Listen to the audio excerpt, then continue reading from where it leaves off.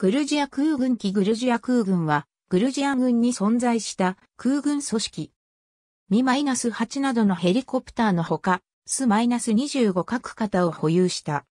その他、輸送機のアン -2 や練習機剣攻撃機の L-29 も保有した。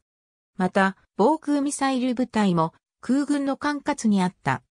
クルジアに航空部隊の設立が宣言されたのは1992年1月1日のことである。この時の部隊は航空部隊と防空部隊から構成されていた。1995年頃には人員が1000名程度まで拡大され、1998年に部隊の再編成により空軍が設立された。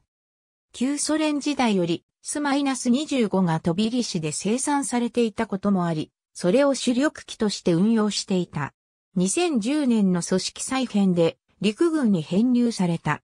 グルジア空軍の国籍マークグルジア空軍所属のス -25 グルジア空軍所属のミ -24 ハインドグルジア空軍所属のミ -8 ヒップ、空軍司令部戦闘機は有しておらず、ミ -8 等のヘリコプターのほか、ス -25 各型を保有している。その他には、輸送機兼連絡機の An-2 や、練習機兼攻撃機の L-29 を保有。また、防空ミサイル部隊も空軍の管轄にある。